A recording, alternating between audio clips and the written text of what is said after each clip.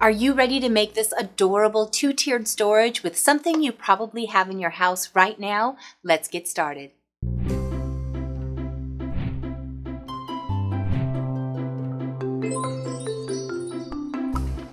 Hello, welcome back to the Crafty Organizer. I'm super excited to show you how to make this cute little storage unit today. It's really windy outside, so you're probably going to hear my wind chimes. I personally love them. Hopefully you don't mind them in the background, but it's so windy. I was looking at Instagram and I saw this adorable two-tiered storage and I immediately recognized what it was made from, but it's one of those plastic tube hangers that we all have in our closets. And I thought it was so cute. I didn't want to leave the house though to go get this wooden crate that they showed it made with from the Dollar Tree. So I opted to do it with whatever I had lying around the house, which is what I'm always encouraging you to do. DIY, upcycle, use what you have. Crafting and organizing does not have to be expensive. This would be better with the wood crates because I do think it's super cute and it would be a little bit more sturdy, but I happen to have these two little plastic baskets. So here's how I made it. So with just the two simple baskets, some zip ties, and then of course the plastic hanger. You'll want something to cut it with. I used a wire cutter, but a pair of clippers, not scissors, will be better. I found the center and then I just snipped it. It was super easy to cut. I also cut off the little hook portion and that way I could get to the center of the other part of the hanger. I tried to cut away the little support piece here, but because it's thin, it started shooting everywhere. So I opted to just cut down the middle first, and then I could get rid of the extra. Once I had it in two pieces, I did cut them so they would be the same length. So some sort of a grid or ruler will really help to make sure that you've got all of those even points. I lined it up again so I could make doubly sure I was cutting the other piece the same. If you have a hard time cutting it, just drag the cutter around and score it a little bit, and this will then snap right off. I then cut off any of the little extra pieces on the inside so I would have two smooth supports. If you do have any rough spots, just get a file or a nail file and smooth those sharp pieces off. Once you have that done, you are ready to connect. This is such a fast and easy project. Now there is a straight portion and a curved portion on the hanger.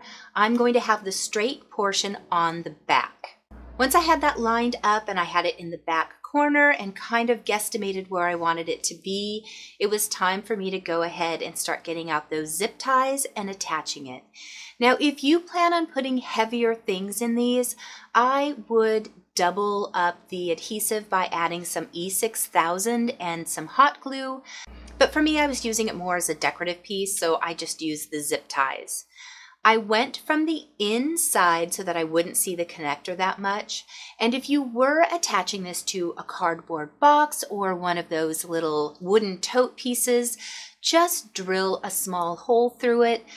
But because I'm using a weave basket that already has holes in it, it made it super easy. So I just lined it up, you can adjust this even if you're using the E6000 or the hot glue. You'll have some time to go ahead and maneuver it around to get it set up perfectly. Once I got that in, I went ahead and just tightened it up. And I kept playing as I tightened it so that the extra part where it connects together would be out of the way because sometimes when you cut the excess off of a zip tie, the little remnant is sharp. So I want to try and have it out of the way just to make sure I don't ever get caught with it. Now I can go ahead and attach the second zip tie towards the front. This one, because it's at an angle, was a little bit more difficult. So if you are using a similar basket, I very much would recommend using the E6000 and some hot glue just to make sure it really stays in place. Because I was opting to not do that, I had a little more difficulty with it popping out. Now it was time to attach the second one and I just followed the exact same things. You'll want to double check and make sure you have the straight piece in the same direction. And I also made sure that I had the same little holes that I was attaching it to so that it was symmetrical. So follow the same steps, making sure that the connector is towards the back so that when you cut off the excess, it is not in the way. Attach the front piece. This really was a simple project. In making sure I had them lined up, I had lined it up with the wrong hole. So do double check that just to make sure it's as sturdy as possible. And I do like that symmetry so that when it's all put together, it looks nice. Now that that's done, I can go ahead and start deciding where I want that top basket to be placed. I did want the ability to be able to reach in easily, so I opted for mine to be attached towards the front of the top basket. That way that bottom basket has complete easy access. So I'm going to attach mine to the front corner of the angle first. That way I really make sure that on the second one, I'm locking in that anchor point. So once again, coming from the inside out, and then I'm going to go to this second piece and attach from that same corner. And for some reason, I was having difficulty with this zip tie, so it is easier if you glue it just for that so it stays in place. And see, mine popped out, so glue would be helpful if you want to make sure it's super sturdy. But once I was able to actually pull the zip ties close, everything squared up very nicely. So now I can attach the last zip ties to the top to make sure that that top basket is level. I chose when I set this up to have it angled along with the handle of the basket so that it would be nice and squared. So once again, I'm just going to come in and make sure that the connection point on my zip tie is on the inside of the basket. I'll do that second one and I am almost done with this project. You guys, this was such a cute one. I'd love to see what you do. And if you use larger size baskets, you can make larger, obviously, storage units. The last thing to do is trim off all of those little extra parts of the zip ties and then I'm ready to decorate. So here is the original and you'll notice that they had theirs completely on the ground and I do like that because it means you have complete access but for where I was putting it I didn't want it to be that deep. So here's some examples. Here's one of my coffee bar for my cocos and little accessories that go in my coffee. You could use this if you have a small gaming station. You could use this on your vanity if you've got a lot of small toiletries.